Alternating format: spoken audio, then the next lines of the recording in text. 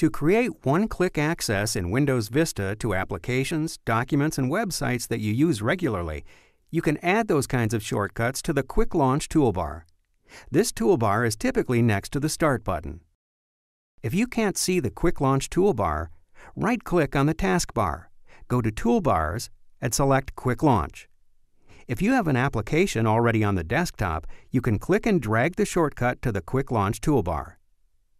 When the I-beam is positioned where you want the shortcut to appear, let go of the mouse button. Now Windows Media Player is just one click away. Adding a document to the Quick Launch toolbar is just as easy. Find the document you want, simply drag it to the Quick Launch toolbar where you want it,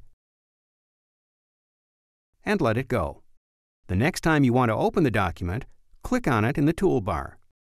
Not only can you drag documents and programs from the desktop to the Quick Launch toolbar, but also from My Documents and many other folders.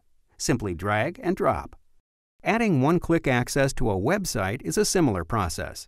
Start your favorite browser and navigate to the site you want. Click the icon immediately to the left of the web address and drag it to the Quick Launch toolbar. Position it to where you want it to go